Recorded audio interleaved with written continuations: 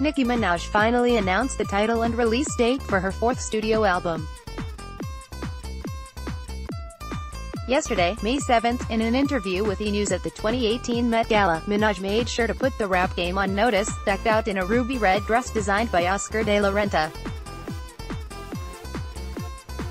I'm the bad guy and I wanted to make sure bitches knew that the bad guy is here, Minaj told E! News on the red carpet. Album dropping June 15th. It's called Queen. June is gearing up to be a stacked month for hip-hop. Drake shared that his fifth studio album, Scorpion, is releasing that month.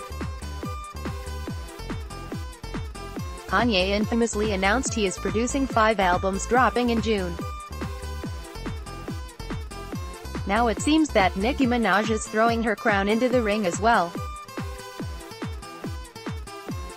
An April interview with Zane Lowe, the Queen's rapper alluded to feeling like the bad guy after issues with Cardi B and Migos during the aftermath of Motorsport. With Motorsport, I kind of felt ambushed. Nicki said, I felt like Quavo at that time, Quavo is my baby. I love Quavo. At that time I went on Twitter and explained how Motorsport came about and people were saying that I was lying.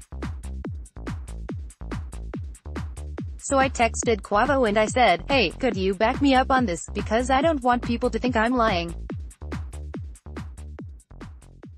What do I have to lie about? And he didn't back me up.